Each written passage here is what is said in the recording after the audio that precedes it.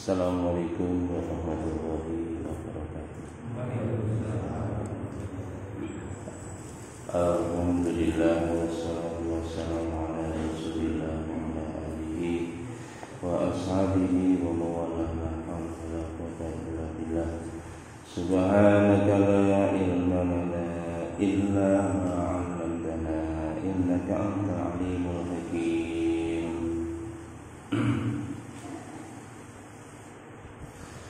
الفاتحة أعوذ بالله من الشيطان الرجيم بسم الله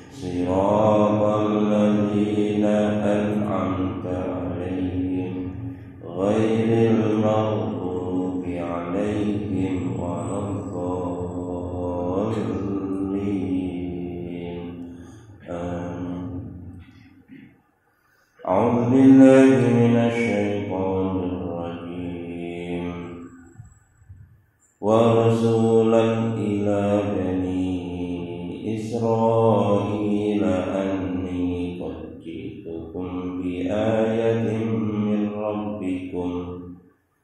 أني قد جئتكم بآيات من ربكم.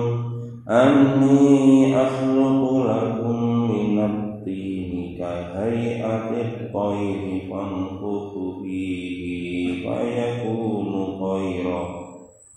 فيكون طيرا بإذن الله وأبرئ الأكمه والأبرص وأحيي الموت بإذن الله.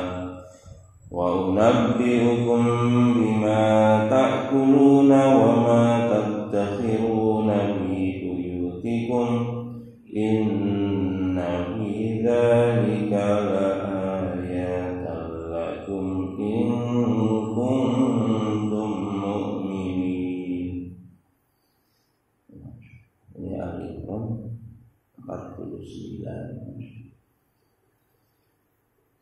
masih cerita tentang kelebihan atau kehebatan dari Nabiullah Isa alaihissalam. Jadi Allah beri kabar gembira kepada Maryam akan memiliki seorang anak dengan kriteria yang luar biasa. Kemarin kriterianya wa yu'allimul kitabah Nabi Isa diberi kitab kemudian diberi kemampuan bisa membaca bisa menulis. Kemudian diberi ilmu hikmah.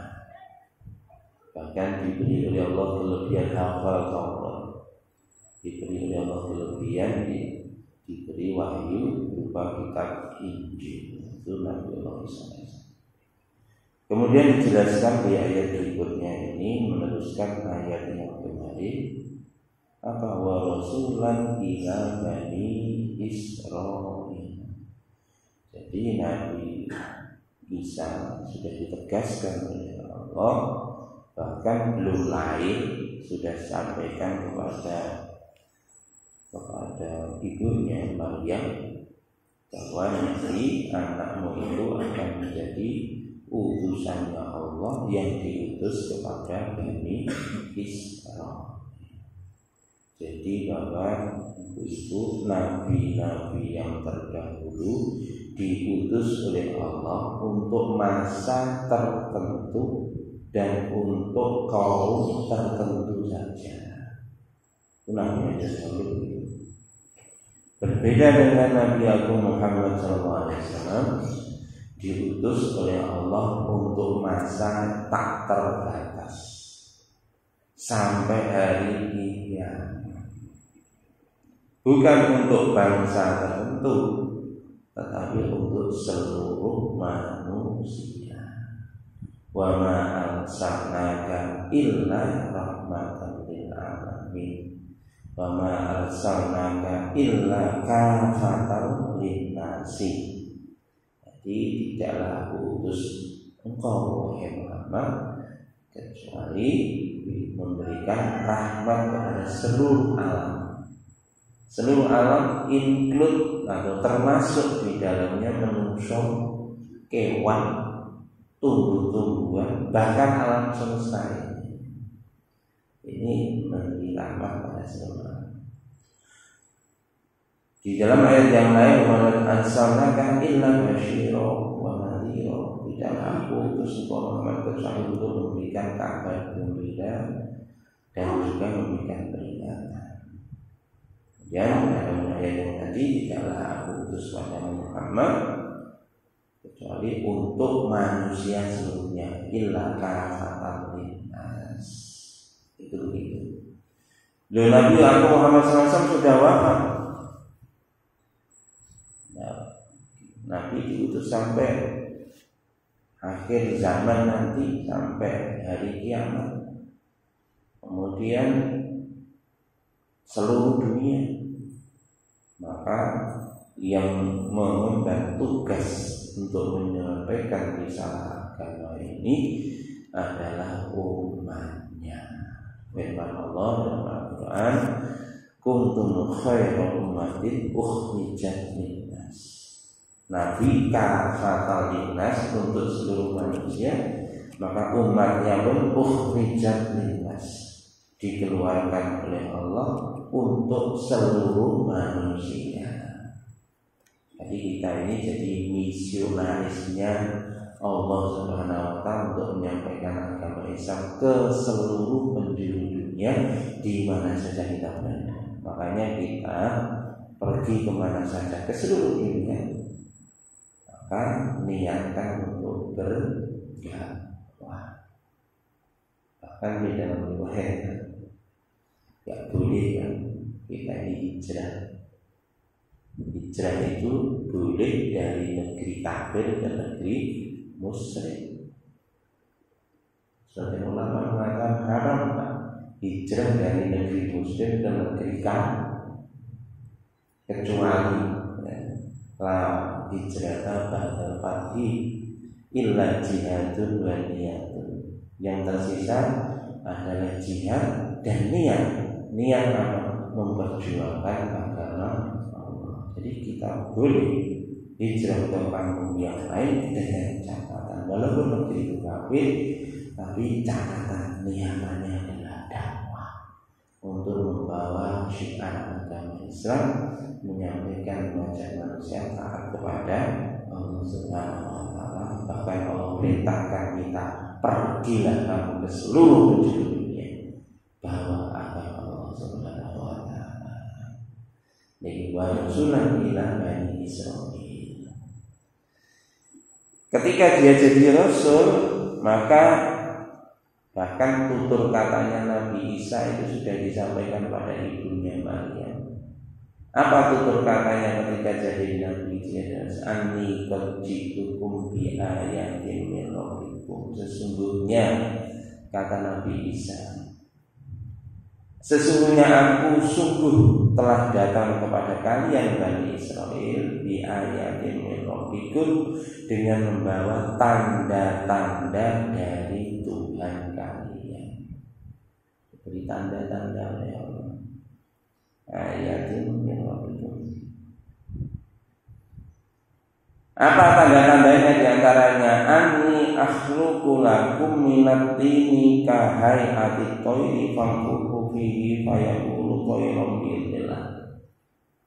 Salah satu tandanya ini Nabi Isa itu membuat membuat dari tanah liat bentuk kahayati toy bentuk burung. Jadi Nabi Isa itu menentu-nentu tanah dibentuk seekor burung.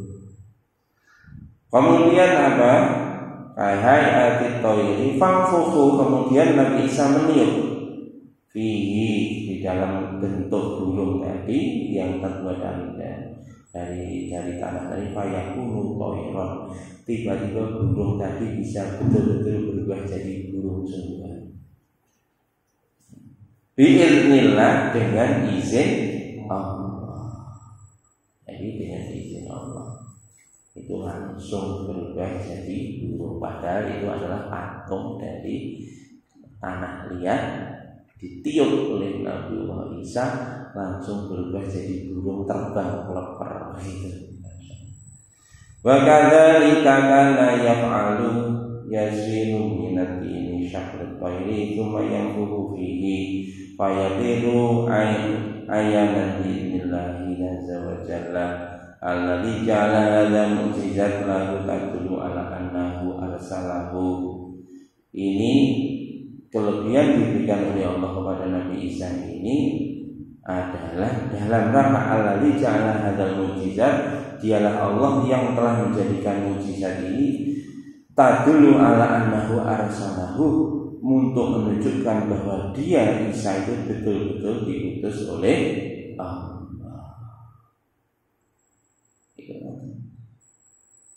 Di burung di bisa jadi apa tanah ya bisa jadi burung itu. Terus nih wa urikul akmaha wal abrasa. Berikutnya Nabi Isa adalah bisa menyembuhkan al akmaha orang yang buta. Nabi Isa bisa menyembuhkan orang yang buta. Kila innal ladzi yasbiruna haron wala yubsiru lailan Al-Akmaha itu sebagian ahli tafsir mengatakan adalah orang yang buta di siang hari maaf buta di malam hari tetapi bisa melihat di siang hari. Ini orangnya rabun nah, yang yang disembuhkan oleh Nabi Musa. Wakilah aksi sebagian ulama lagi mengatakan sebaliknya. Nah, dulu di zaman Bani Israel ada orang buta. Siang hari malam harinya bisa melihat. Jadi orang yang terlalu peka dengan cahaya matanya. Wakila al-Akmash dan di sebagian ulama mengatakan bahwa dia adalah buta sejak dari bayi. Ya, ini yang mutabar ulama-ulama apa namanya masyhur di seluruh dunia sepakat bahwa e, kemungkinan besar adalah orang yang buta sejak bayi ini yang disembuhkan oleh Nabi Musa ini menunjukkan bahwa mukjizat Nabi Isa itu adalah sangat hebat. Kemudian wa ubrihul akmaha wal abrasa dan orang yang memiliki penyakit belang. Jadi kulitnya yang belang-belang itu oleh Nabi Isa didoakan bisa sembuh. Yang lebih hebat lagi wa uhyil mauta bi'illah Nabi Isa bisa menghidupkan orang yang sudah mati. Olah kathirun minal ulama ini ada menurut sebagian besar ulama Kalau kula nabiyya minal ambiya bima yunasidu ahlu zamanihi Fakana al-ghalib ala zamani Musa alaihissalam as-sihr wa ta'limu sihrati fa fasau bi mujadi itu biharu al-absar wa khiratu kulli Jadi ulama di dalam kitab tafsir ini dijelaskan bahwa memberikan penjelasan bahwa Allah Subhanahu wa taala setiap mengutus para nabi dari para nabi itu maka para nabi-nabi itu dibekali mukjizat sesuai dengan zamannya.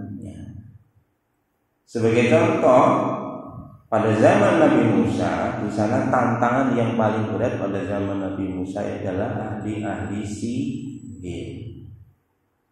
Karena ahli sihir, maka Nabi Musa pun diberi mukjizat.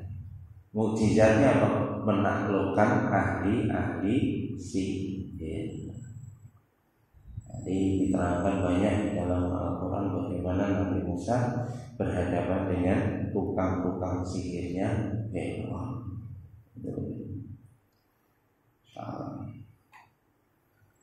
Untuk apa? Untuk membawa bukti bahwa dia adalah keputusan Allah Subhanahu wa taala. Falam annahu min indillahi min ama min indillahi. Jadi untuk supaya manusia yakin bahwa itu adalah dari Allah Subhanahu Wa amma Isa alaihissalam adapun pada zaman Nabi Isa bahasa fi zamanil al-aqba wa ashabul ilmi tabi'ati. Faja'ahum minal ayati bimala sabila li'ahadin ilaihi Demikian juga pada zaman Nabi Isa itu pada saat zaman Nabi Isa itu tantangan yang dihadapi Nabi Isa adalah pada zaman itu al akbaru jadi teknologi kesehatan teknologi kedokteran.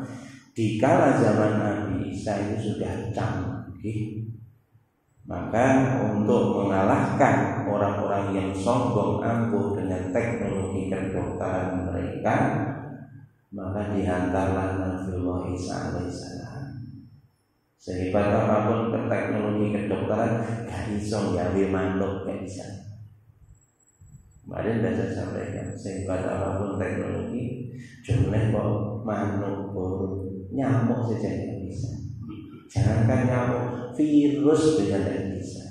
Bakteri tidak bisa. Yang buat adalah Allah subhanahu wa Menurut mengubah ngabah Ngotak ngadik, ngotak ngotak Itu aja. Jadi tantangan yang dari Nabi Isa adalah pada saat itu adalah luar biasa teknologi kedokteran sehingga Allah berikan kepada Nabi Isa kelebihan untuk menyembuhkan berbagai macam penyakit bahkan bisa menghidupkan orang yang mati bahkan bisa membuat sektor organisme dari dari tanah liat dengan izin Allah Subhanahu wa taala. Masya Allah ila ayakuna muayyidan min syara'a syari'atan. Jadi untuk menunjukkan untuk menguatkan syariat yang telah dihantar oleh Allah kepada Nabi Isa alaihissalam. Masya Allah. Demikian juga di rahmati Allah Subhanahu wa taala termasuk tadi menghidupkan orang mati, menghidupkan apa namanya uh, tanah di tanah liat burung itu semua adalah karunia dari Allah Subhanahu Berikutnya wa ba'asa man huwa fi qabrihi rahinun ila yaumil Jadi termasuk menghidupkan orang mati dari Nabi Isa begitu. Padahal mestinya menghidupkan orang mati di hari kebangkitan besok. Ya, teknologi kedokteran tidak mampu menghidupkan orang mati sampai hari ini, tidak ada yang bisa menghidupkan orang mati. Demikian juga walada yang Muhammad SAW masa bisa ini fasaha wal balagha wa tajarid syu'ara wa ta'hum bi kitabin Allah azza wa jalla. Jadi ketika zaman Nabi sallallahu alaihi diutus tantangannya berbeda. Tantangan pada zaman Nabi sallallahu itu adalah dulu ahli-ahli sastra. Jadi Nabi datang di Mekah di Mekah di di Mekah sana yang banyak adalah pakar-pakar kesusastraan. Mereka hebat-hebat di dalam membuat puisi, membuat pantun, nyanyian. Itu kalau yang paling hebat digantung di sekitar Ka'bah sana mana yang paling hebat dia dapat hadiah, dapat award. Makanya kebiasaan untuk syair-syair nyanyian terus dapat umur itu kebiasaan jahiliyah. Saya mau buat-buatan kan. Ono akan demi uwet apa nih bukis karo kata untuk TV sampai itu kebiasaan zaman jahiliyah. Makanya pada saat lawin selamat ini suwal jin wa ala ayat bimislihi Masya Allah. Maka di dalam Quran disampaikan, andaikan jin dan manusia berkumpul jadi satu untuk membuat satu ayat dari Al-Quran, maka tidak akan bisa.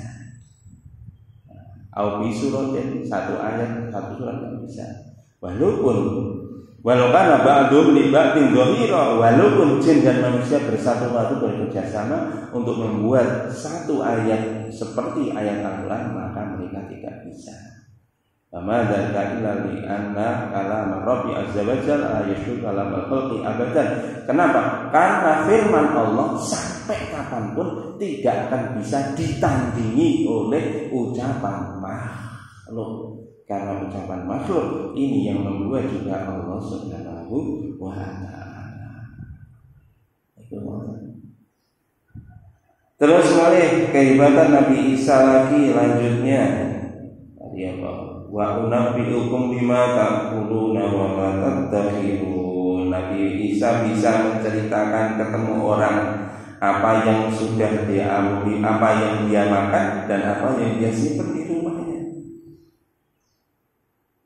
Jadi Nabi Isa begitu ketemu orang tahu kamu tadi habis makan apa? Tahu. Halal apa haram? Tahu. Terus yang masih disimpan di rumah masih berapa? Tahu Nabi Isa.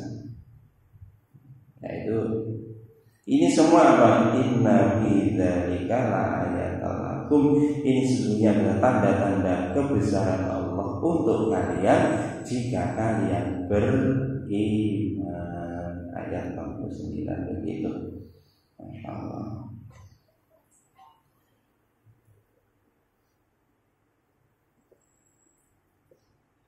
Yubi dalatun ala anak Isa alaihissalam nasako ba'du syariat Taurat bahwa sahih min lain itu nanti ini jadi di minggu depan jadi jika kalian beriman maka kamu pasti yakin dengan apa yang diberikan oleh Allah kepada Nabi Allah Isa alaihi salam.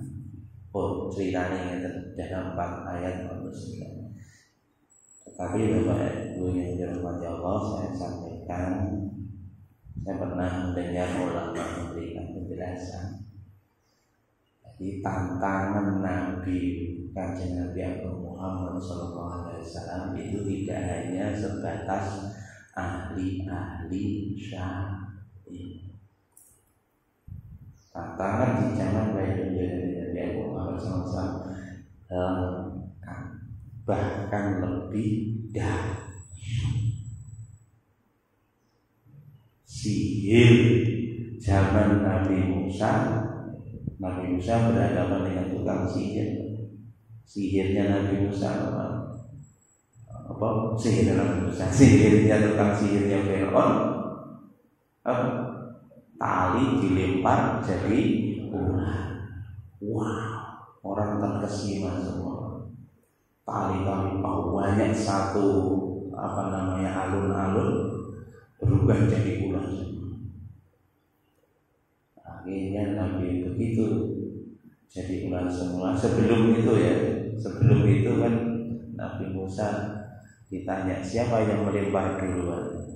Kamu atau aku? Kamu atau kami? Maka Nabi Musa lempar Kamu duluan Dilempar tali Sak alun-alun berubah jadi ular tali Akhirnya Nabi Musa bahwa Allah mewahyukan pada Musa al-alqi untuk melemparkan tongkatnya Nabi Musa maka spontan dengan Allah diterangkan di dalam surat Al-A'raf ayat 14 sampai 17. Di situ dimakan semua ular-ular yang dibuat oleh tukang sihir. Sihirnya apa anak buahnya Firaun demikian dahsyat. Sihir hari ini gimana? Lebih dahsyat Sihir zaman Fir'aun itu tipuan mata seperti sekarang sihir-sihir zaman sekarang kan tipuan mata tidak real tidak nyata, hanya tipuan mata saja. Nabi Musa menghadapi tukang sihir itu. Nabi Musa tidak terkesan. Makanya kita Pak untuk menghadapi sihir sampai kapan pun caranya ojo terpesan terkesan ojo terkaget-kaget ojo terpesona ojo gawok dalam sihir. Coba ini modal yang pertama. Kalau kamu sudah terpesona, tertarik, berarti kamu telah tunduk kepada tukang sihir. Sampai akan mudah. Makanya nak digendam, wong digendam. Nak ngomong kan, wah, berbunga-bunga Kita terkes terpesona dengan omongannya sekali terpesona wes mudah hati kita ditaklukkan oleh tukang gendam akhirnya diweno kabeh gelang diweno kalung diweno bahkan kadang bojo diweno ini dengan ilmu sihir dan dari mulai zaman dia di sana. Nabi Musa tidak terpesona. Nunggu perintahnya. Begitu perintahkan oleh Allah melempar tongkat maka Nabi Musa di luar perkiraan Nabi Musa ternyata tongkatnya Nabi Musa berubah ular yang besar jadi Bapak yang Allah kunci untuk menghadapi sihir-sihir itu adalah satu tidak terkesan Nomor dua, sempurnakan perintahnya Allah. Maka nanti tukang-tukang sihir akan lari tuang oh, tunggang langgang itu itu. Cerita sihir akhir zaman ini lebih dahsyat dari sihirnya tukang sihirnya Fir'aun.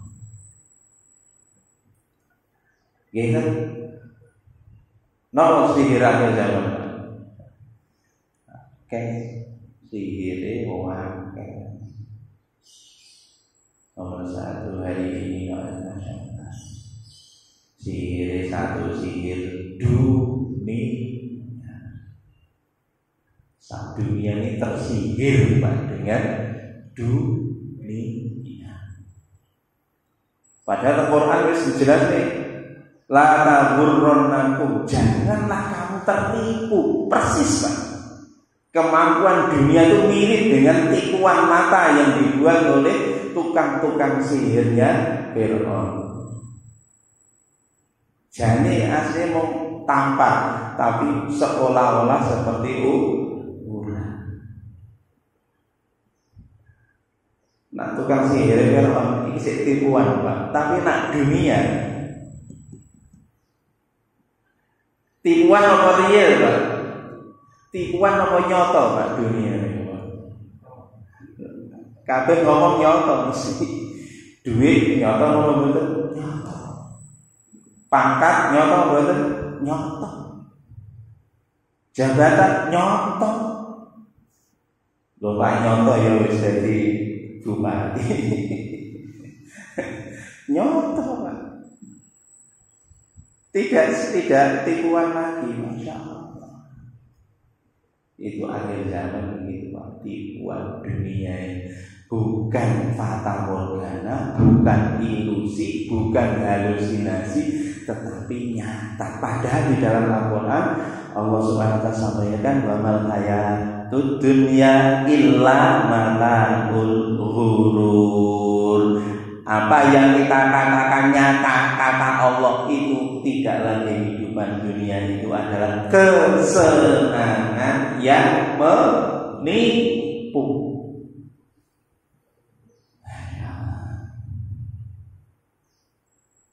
Saat ini sih kena sihir ini saat dunia kira-kira gak sadar mulai dari sing paling dhuwur sampai paling kecil.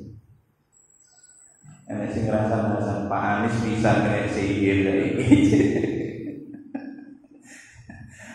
Pak Anies bisa kena sihir saiki wis masuk dalam sistem. Jadi ini ngono Pak Hadi bisa nih kena sihir. Ini seperti itu. Sihir. Dan terasa. Seluruh dunia. Pertama disihir dengan sihir dunia. Masya mulai pejabat sampai rakyat mulai sing sugih sampai sing larang mulai sini kutha sampai ning desa saka wong awam sampai kiai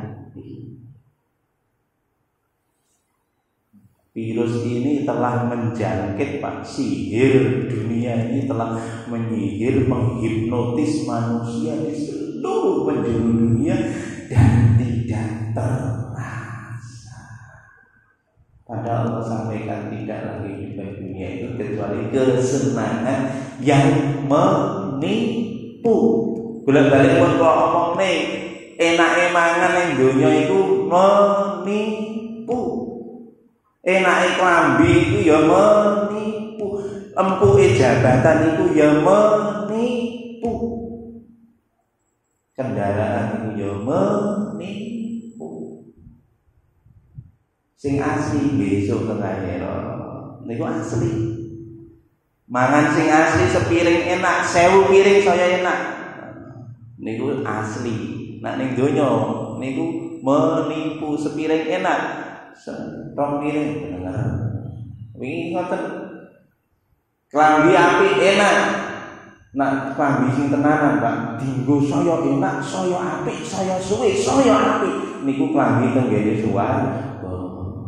Nak ning donya niku tipu wah masih klambi regane berjut-jut masih tas regane ber em em saya suwe ora saya sak dunia kebujuk dia berani merogoh kocek investasi berjut-jut ber em em hanya untuk ditipu oleh dunia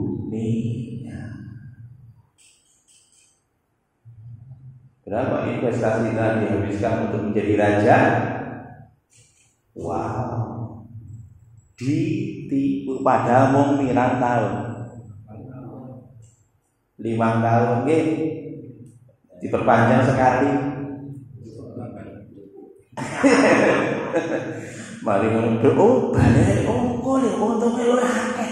Lah Menipu menipu pun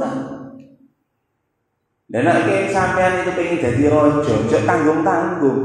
Wa idza ra'aita thamma ra'aita na'ima wa mulkan kabira. Nek pengen dadi rojo, ojo tanggung-tanggung.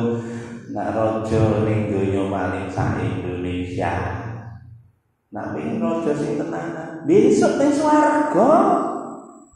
Nak ning swarga niku mbok dadi raja ora 5 tahun ora 10 tahun. Selama-lamanya. Bukan raja kecil kata Allah.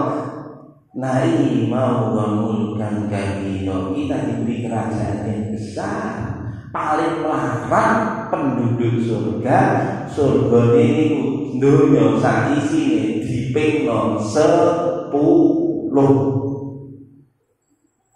gitu ingin jadi tertipu raja sungguhan apa raja yang ingin jadi raja dunia apa raja akhirat.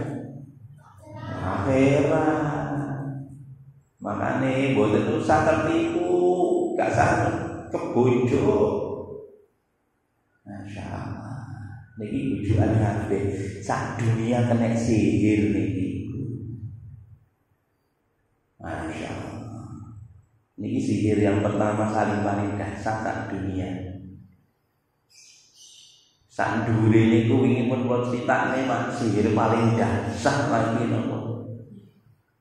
Sains dan teknologi. Iki ono nek sing nih Pak Anies kena sihir bisa bahkan jadi tukang sihir jadi ini ngono. Pak Anies jadi tukang sihir. Kita supaya tahu tadi Bapak para nabi, para rasul dibekali oleh Allah ilmu untuk menghadapi tukang-tukang sihir tadi dengan jurusnya tukang sihir. Kita darinya Allah, kita juga belajar teknologi, tetapi bukan supaya kita tertipu, tapi supaya kita menipu ahli-ahli teknologi bahwa kita ini adalah utusannya Allah. Sampai Nabi duduk. Kita ini sudah diutus oleh Allah untuk meneruskan perjuangannya kaki Nabi Agung Muhammad. Gila tuh enak ngomong teknologi kan. Sihirnya teknologi itu luar biasa. Sihirnya teknologi itu dahsyat luar sehingga dasarnya teknologi sihir teknologi ini orang Islam sendiri sudah mengharamkan perkara yang difardukan oleh apa Pak Sini Pak Sholat masjid. Dasar teknologi. Sing bermanfaat siapa? Orang Islam sendiri. Lupa itu kan alasannya medis.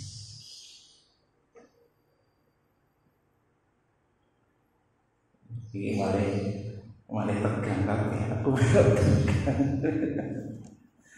Pak alasannya pak medis. Masya Allah Ini ujian Pak Ujian. Kalau sampai ini yakin Pak. Bahwa ibu-ibu Ada kebenaran Indonesia. Jadi ini ada kebenaran normatif. Norma etika sosial. Ini akan kalah dengan kebenaran hukum. Kebenaran hukum akan mengalahkan kebenaran normatif yang ada di satu tempat. Contoh satu tempat sudah biasa merokok, norma, nggak masalah. Secara sosial merokok nggak masalah. Hukum positif ditegakkan dilarang merokok maka jatuhlah kebenaran normatif untuk menegakkan kebenaran hukum. Ada yang lebih tinggi dari kebenaran hukum. Inilah kebenaran saintifik, kebenaran ilmiah. Kenapa? Karena kebenaran hukum itu bisa dijustifikasi, oh dijustifikasi dibenarkan dengan pembenaran ilmiah. Hari ini Pak dengan pendekatan-pendekatan ilmiah maka keputusan hukum bisa ditegakkan. Pembunuhan gak tahu siapa yang membunuh. Maka dengan pendekatan ilmiah dilacak komunikasi HP-nya. Dilacak sidik jarinya. Seret ketemu. Dilacak lagi DNA-nya, saya ketemu. Kebenaran ilmiah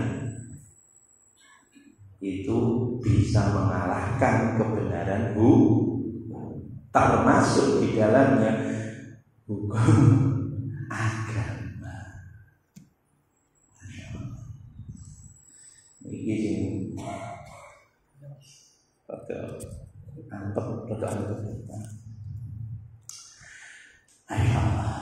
Nah kalau mau contoh hayat sahabat, hayat sahabat. Allah Allah. Mestinya Pak di atas kebenaran ilmiah itulah kebenaran agama Islam.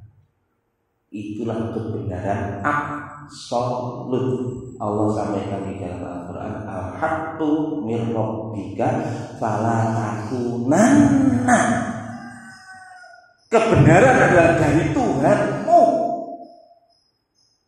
Falatakunanna jangan sekali-kali kamu menjadi orang yang ragu. Ragu.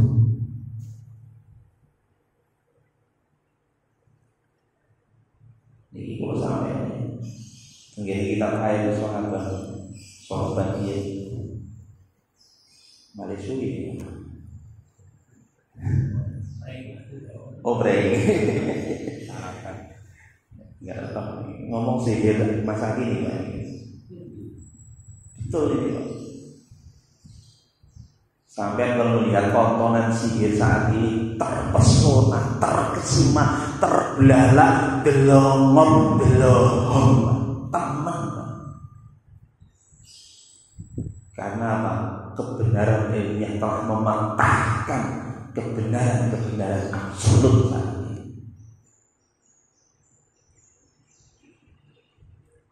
Itu sahabat itu cerita sederhana ada sahabat matur kanjeng Nabi.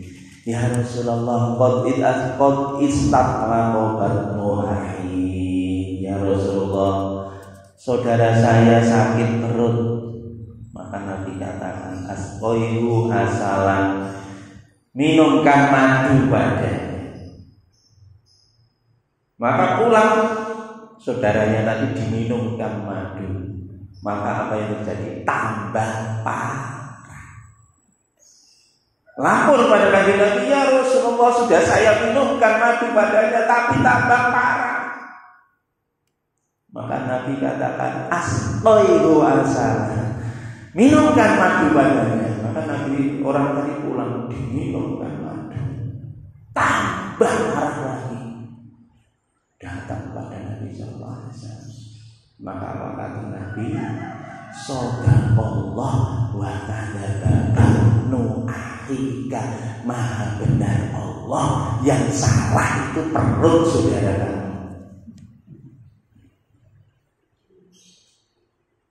Loh ini Pak, ini kebenaran ilmiah oleh Nabi dipatahkan dengan kebenaran apa? So. Walaupun ilmiah terlihat bahwa madu itu biang membawa kerusakan, tetapi Allah sampaikan bahwa mimbaini farsi wadamin di antara tai dan darah dari lebah syifaan obat. Firman Allah dalam Al-Quran Maha benar Allah. Sing itu wetenge dulur mulane. Ini Pak Ya ini kira-kira sing sing goroh iki sapa Pak? Waduh. Tenggene rame ini. Ini Iya hati-hati. Kalau perkara-perkara itu perkara yang masih mubah, mubah ya, ada pembenaran ilmiah. Kita taat dengan kebenaran ilmiah tidak apa kalau perkara itu perkaramu contoh pak. Sains sampai moro dites nih lab. Gula darah telung atau seket misalnya ngono. Karo dokter dikandani jok mangan sego. Jok ngombe gula sampai nurut kan boleh seperti itu. Kalau itu masalahnya masalahmu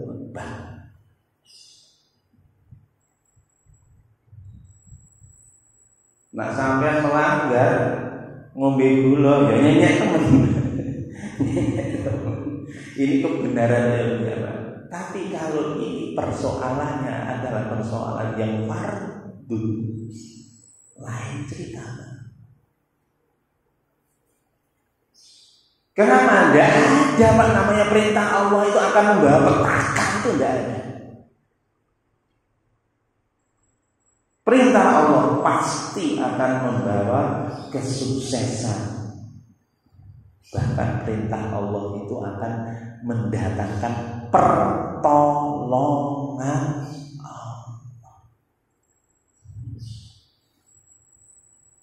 Kalau kita nggak menyempurnakan perintah Allah di dalam kondisi yang seperti ini, kita sudah kena sihir namanya sains dan teknologi di akhir zaman ini.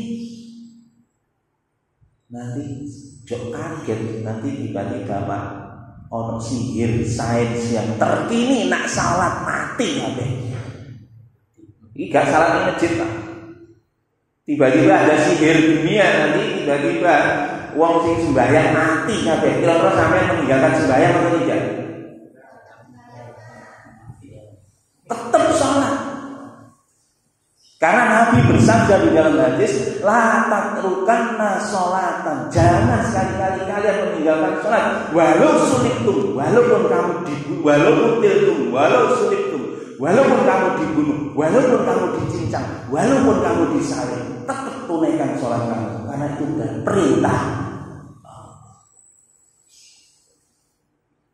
Ini nanti bahaya kalau tiba-tiba ada sihir dunia keluar dan itu tidak mustahil. Tidak mustahil, Pak.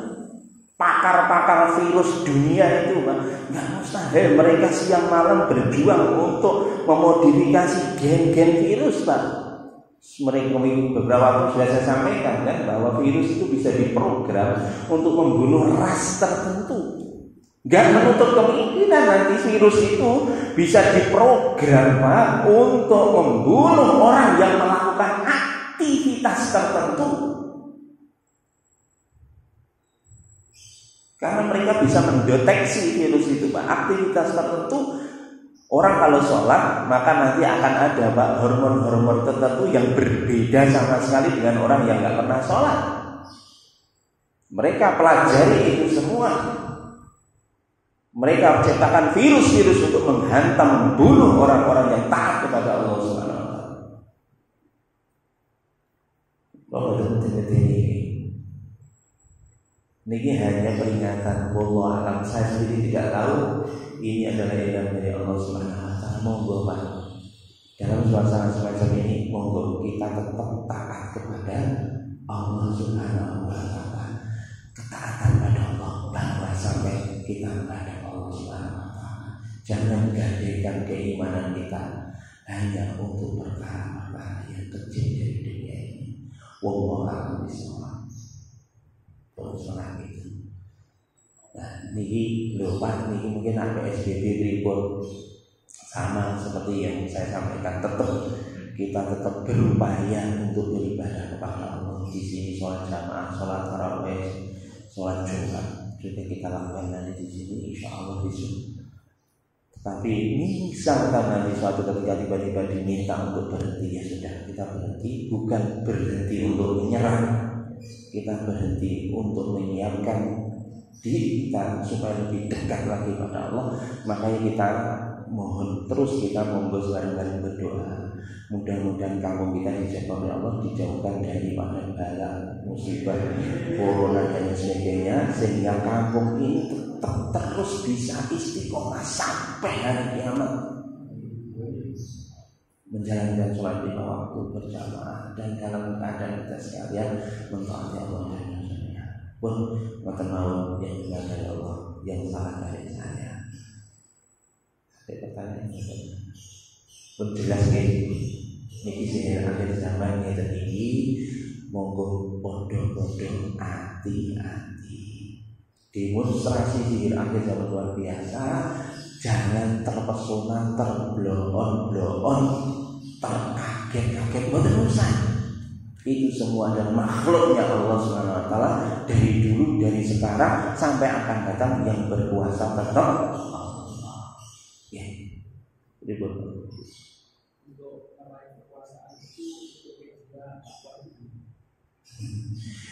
Nih, kalau mau dia dakwah lewat kekuasaan, sekali lagi, kalau tadi kita kekuasaan yang penting sebetulnya kita jangan ambisi, jangan kekuasaan dijadikan tujuan. Tetapi kalau kita ditakdirkan Allah berkuasa, tidak apa seperti Nabi Allah Dawud, Nabi Allah Sulaiman ditakdirkan Allah berkuasa. Nabi Dawud itu sebenarnya nggak mau pak jadi raja, tapi tetap akhirnya dipaksa akhirnya jadi raja. Nabi Yusuf nggak mau. Di penjara lebih suka. Tapi Allah terjadi jadi raja tetap akhirnya jadi raja. Tetapi di dalam kerajaannya dia tidak tertipu dengan kerajaan termasuk Nabi Musa itu ahli teknologi juga selain ahli sihir. Apa mengalahkan tukang sihir bukan ahli sihir. Masya sihir itu orang kafir mujizat diberikan Allah kepada Nabi Musa. Nabi Musa itu ahli kimia belajar teknologi. Nabi Adam teknologi pertanian yang pertama kali dikembangkan oleh manusia ya Nabi Adam Allah sampaikan di dalam Al-Quran. Wa 'allama Adam al-asma'a kullaha thumma 'aradahum 'alal malaikati faqala anbi'uni bi asma'i haula'i kuntum langsung diajarkan oleh Allah SWT kepada Nabi Adam adalah teknologi bercocok tanam. Demikian juga Nabi Nuh ini pakar buat kapal. Diberikan oleh Allah Diberi wahyu oleh Allah Nail fulka untuk membuat bahtera, membuat perahu. Teknologi perkapalan itu pertama kali oleh Nabi Allah Nuh alaihissalam. Nabi Nuh nggak belajar namanya lines plan, Pak. Dah. Apa lines plan?